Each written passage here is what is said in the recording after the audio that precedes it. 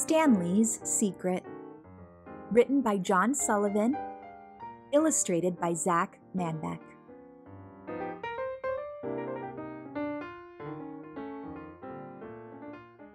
Stanley was a quiet boy. When he attended birthday parties, he hid in the corner and read. When he gave a book report, he spoke softly. At lunch, Stanley quietly ate his sandwich with mayonnaise, even though he'd said, No toppings, please. When Stanley's classmates played sports, he sat on the bench and tapped his feet. Stanley dreamed of tap dancing on a big stage, but he was afraid to tell anyone, except his pet mice, Squeaker and Nibbles.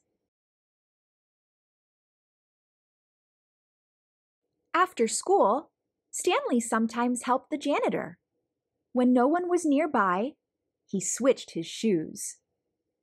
Whether in an empty classroom, dark library, or quiet gym, Stanley tap danced to his heart's content. But if anyone came around, they found a quiet boy busily cleaning.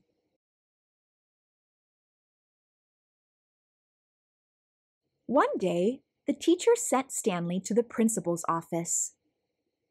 Young man, I've been watching you dance. I'm shocked, she said. Stanley almost fell over. I'm sorry, Principal Reynolds. Sorry, the principal said. You're terrific. Have you signed up for the talent show? I can't, Stanley muttered. I've only danced in front of my mice. I won't take no for an answer, Principal Reynolds replied. Talent should be shared. Stanley had only weeks to overcome his shyness. He riffed for his rodents, flapped for feral cats, and ball changed for birds. Still, his stage fright stayed. With the talent show quickly approaching, Stanley mustered the courage to dance for a classmate. What do you think? he asked. Tom cheered. You're really good. He felt a glimmer of hope.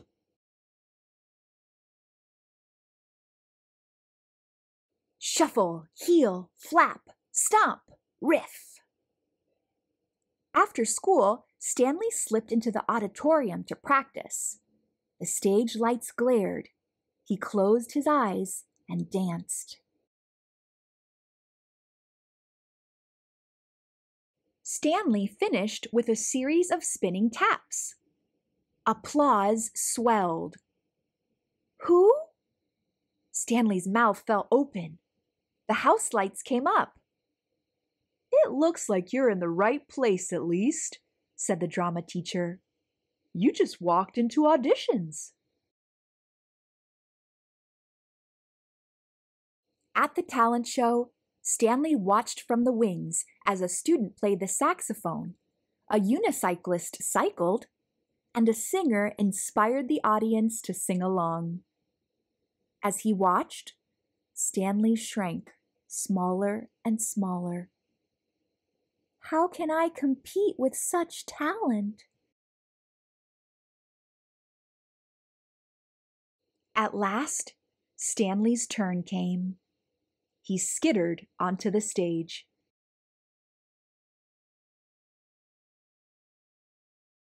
Shuffle, heel, flap, stomp, riff. With each move, he gained confidence, pride, even joy. I've practiced these steps a thousand times. Stanley completed his number and took a bow. The crowd rose.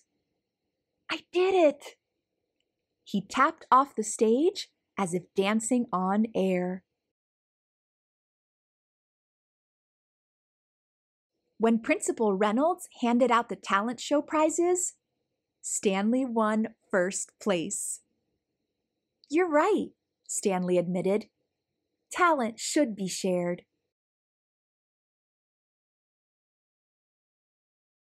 And though Stanley performed whenever asked and spoke up more and more, he still didn't like parties or sports but his favorite audience remained Squeaker and Nibbles.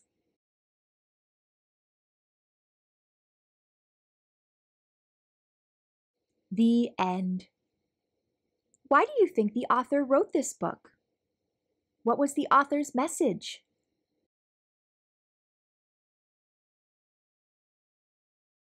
Hope you enjoyed this story read by me, Star. Until next time, keep reading.